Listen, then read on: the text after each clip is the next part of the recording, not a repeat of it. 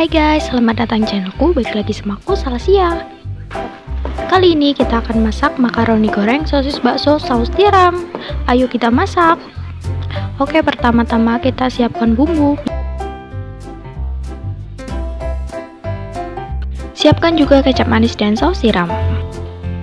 Siapkan bawang merah iris untuk bawang goreng Ada sosis juga dan bakso untuk sayurannya, aku pakai sawi dan sedikit wortel untuk sayurannya. Oke, pertama-tama rebus makaroni. Rebus makaroni sampai empuk. Angkat makaroni jika sudah matang. Makaroni sudah matang. Oke, selanjutnya kita bikin bawang goreng. Bawang goreng itu bikinnya cepet banget dan kalau udah matang tinggal angkat. Kalau misalkan kalian suka bawang goreng bisa ditambahkan bawang gorengnya. Biar makin sedap. Tumis bumbu yang tadi sudah dihaluskan. Tambahkan garam. Bumbunya bisa ditambahkan sesuai selera. Tambahkan juga micin. Pakai sedikit penyedap. Tumis bumbu sampai harum Oke, jika bumbu agak sudah matang, kita tambahkan kecap manis. Kecapnya bisa diberikan sesuai selera. Kalau kalian suka manis, bisa tambahkan kecap manis. Selanjutnya masukkan juga saus tiram, guys. Kalau menurut aku, saus tiram dan kecapnya bisa diberikan satu banding satu. Jika bumbu sudah matang seperti ini, masukkan sayuran. Jangan lupa tambahkan sedikit air supaya sayurannya nggak alot. Di sini sawinya kelihatan banyak ya guys, tapi nanti kalau sudah matang dia akan menyusut.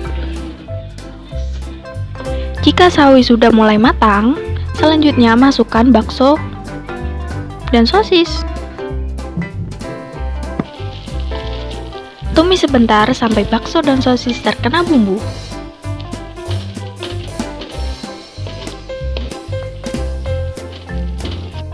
Masukkan makaroni jika bakso dan sosis sudah menyerap bumbu.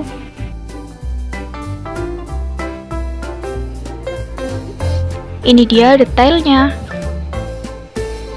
Wow, udah lapar duluan nih guys. Jujur pas masak makaroni ini wanginya enak banget. Nah setelah kuahnya mengental bisa tambahkan dengan bawang goreng. Makaroni sosis bakso sawi sudah matang.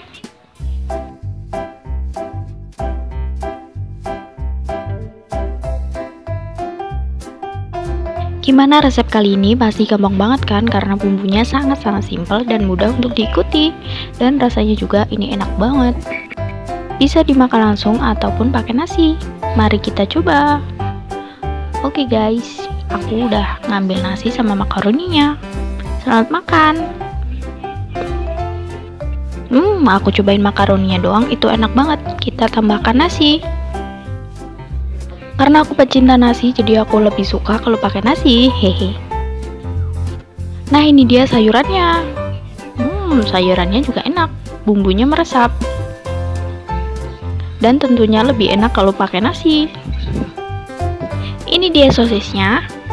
Bumbunya sampai ke dalam sosis. Dan ini dia baksonya. Hmm, enak juga guys. Oke, kita makan sama nasi. Wow.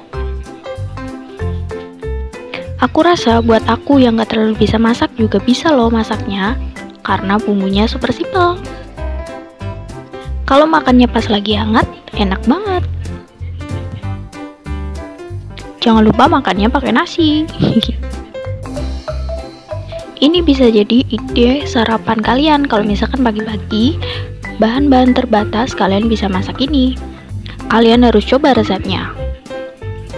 Kalau misalkan kalian pecinta telur, bisa juga ditambahkan telur, bisa lebih enak. Kalau suka pedas, dibikin pedas pasti lebih mantul. Nah, kalau aku sih ini lebih suka dibikin lauk daripada dimakan itu aja. Kalau misalkan gak inget berat badan, aku pasti bakal makan semuanya yang tadi dimasak. Haha. Gak kerasa udah mau habis aja guys. Yang masa kali ini tuh mamaku ya guys, jadi aku hanya main rekam dan nyicipin. Aku jadi nggak pernah masak sejak mama di rumah karena mama yang masak terus. Nah, aku palingan ngeliatin dan beberapa video beberapa kali juga aku kontenin. Makan guys.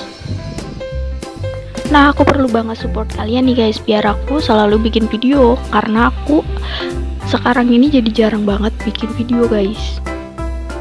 Terima kasih buat kalian yang masih nonton sampai detik ini. Dan terima kasih yang udah setia nonton di channel Siti Salsia.